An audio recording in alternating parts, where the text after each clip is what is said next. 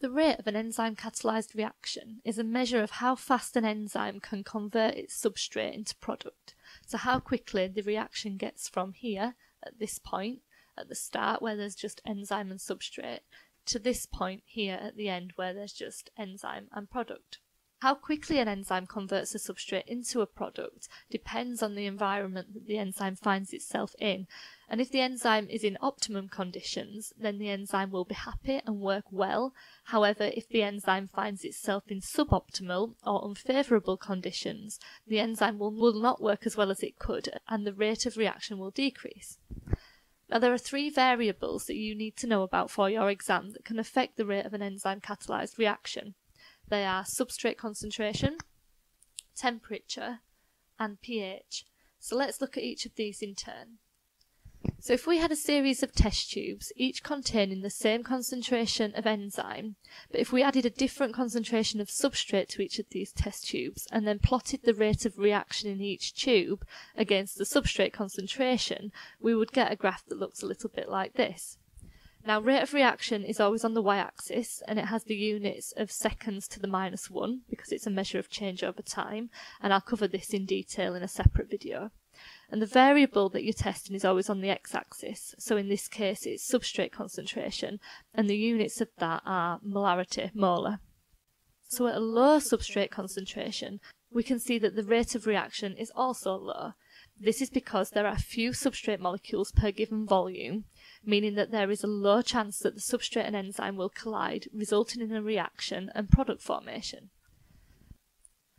If we increase the substrate concentration, so if we move along the x-axis, we see that the rate of reaction on the y-axis increases too, and this happens in a linear manner, so the graph is a straight line to begin with, until the rate of reaction peaks at this point, the enzyme continues to work at its maximum rate of reaction and is saturated with substrate.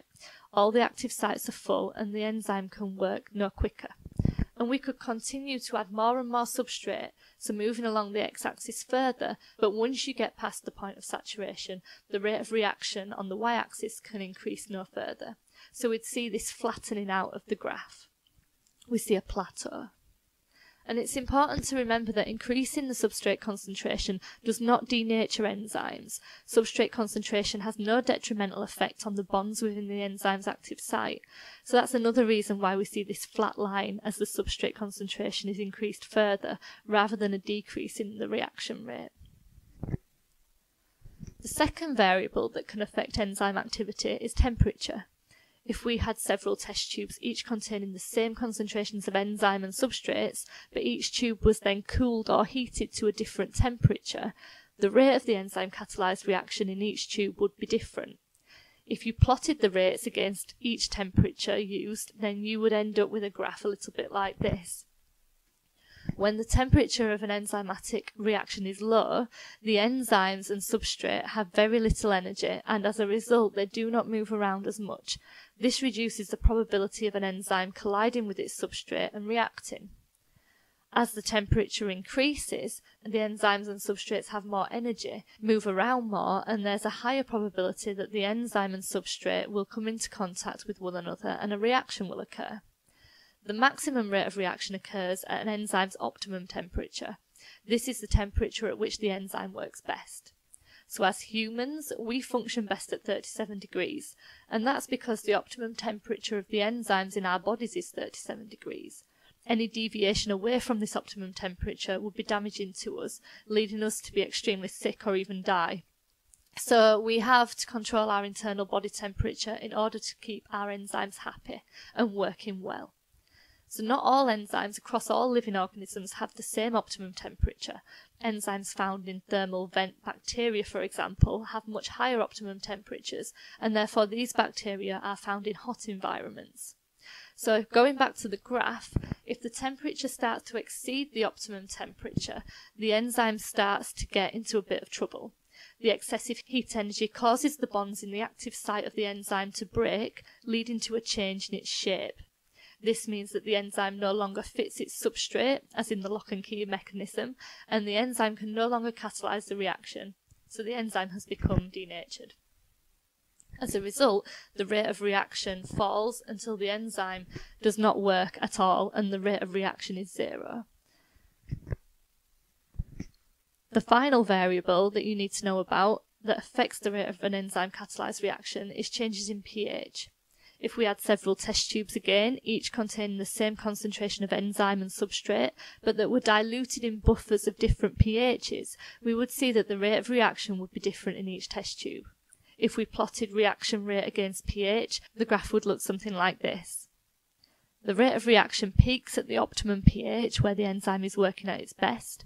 However, as the pH decreases or increases away from that optimum pH, the rate of reaction starts to decrease in both cases.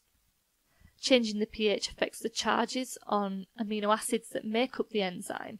So if charges on the amino acids in the active site change, these amino acids will no longer attract or repel each other in the same way, and the shape of the active site will change. And we know what that means. So the shape change means the substrate no longer fits, as in the lock and key mechanism, and the enzyme is denatured and can no longer catalyze the reaction. So this results in a decrease in the rate of reaction because the enzyme can no longer change the substrate into product. Whilst the optimum pH of most enzymes in the human body is pH 7, some enzymes work best at a lower or a higher pH. For example, the protease pepsin works best in the hydrochloric acid found in your stomach. This has a pH of about 2. So you can see that the graph has shifted over to the left because the peak or the maximum rate of reaction is now directly above a lower pH on the x-axis. On the other hand, the pancreatic protease trypsin works best in the slightly alkaline conditions in your small intestine. It has an optimum pH of around 8, and you can see if we draw the graph for this enzyme that the graph has shifted over to the right so that the peak of the graph is now directly above pH 8 on the x-axis. If you would like some free GCSE revision notes that accompany this series of videos, please head over to my website www.doctormeclever.com. You'll also find my revision guides here.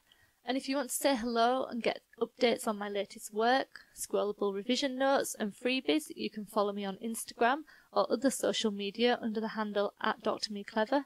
And finally, if you found this video useful, please give me a thumbs up, hit the subscribe button and share. Thank you.